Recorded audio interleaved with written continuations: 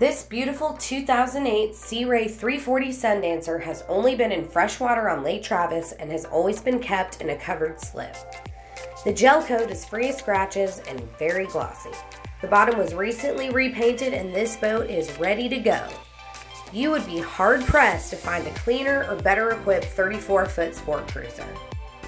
Options on this one include Mercruiser 8.2 Mag V drives, forward deck sun pad, a frame bimini top, bow thruster, Raymarine chart plotter, stereo upgrade, bulkhead TV, all chain windlass, remote spotlight, air conditioning and heat, generator, and plenty more.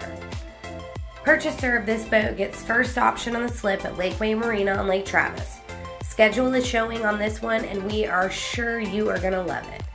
Please call Roger Duffee for details or to arrange a showing.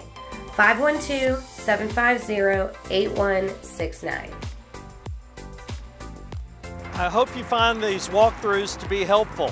If you need any additional information, please call me, Roger Duffee, at 512 750 8169. We'll see you on the water.